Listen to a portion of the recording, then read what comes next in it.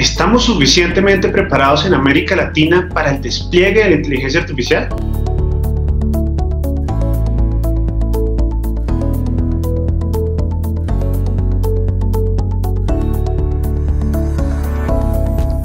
Hola, mi nombre es Armando Guío y quiero aprovechar para invitarlos al evento de experiencia IA que está organizando la CAF. Creo que va a ser un evento muy importante y de una gran trascendencia para los países de la región y para el futuro de las políticas públicas en inteligencia artificial y tecnologías de, este tipo de propósito. La agenda de política pública, la forma como abordemos la tecnología, no debe ser ajena a la problemática social y al reto como generación y como sociedad estamos viviendo alrededor de la, de, de la, pandemia. Es momento de que entre varios expertos y tener una conversación incluyente con la sociedad civil, con distintos actores de, la, de nuestros grupos sociales, podamos empezar a pensar de nuevo los próximos años de la política de inteligencia artificial.